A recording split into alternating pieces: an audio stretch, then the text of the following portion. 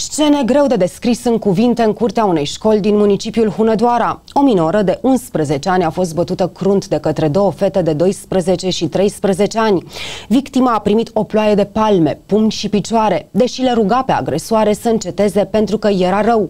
Polițiștii au întocmit dosar penal, iar reprezentanții de a GSPC Hunedoara au demarat o anchetă în cazul acesta.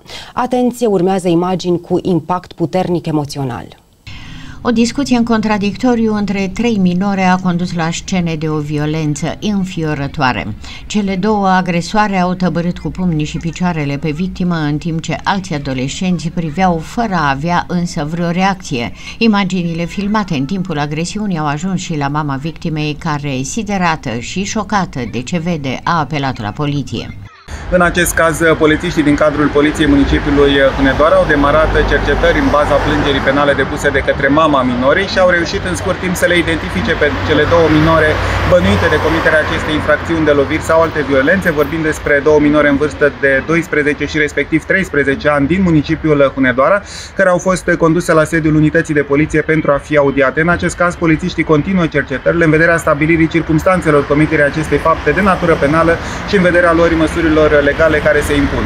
Astăzi, o echipă a Direcției Generale de Asistență Socială și Protecția Copilului s-a aflat la Hunedoara și a demarat o anchetă în acest caz.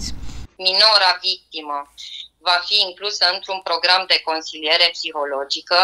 Minorele agresoare refuză categoric serviciile de consiliere psihologică oferite de către specialiști ai DGSPC Hunedoara. La data prezentei, respectiv azi, 6 septembrie 2023, o echipă formată din reprezentanței direcției și DAS Hunedoara se află în teren în vederea evaluării situației. Actele de violență între minori sunt tot mai des întâlnite. Tinerii care folosesc un limbaj vulgar, dar care recurg și la violența fizică, una greu de imaginat. La fel de grav este și că cei care asistă la astfel de scene sunt de cele mai multe ori nepăsători, nu intervin, ba mai mult se amuză și încurajează, la fel ca într-un ring de box, filmând și bucurându-se de o așa zisă popularitate în mediul online și nu numai.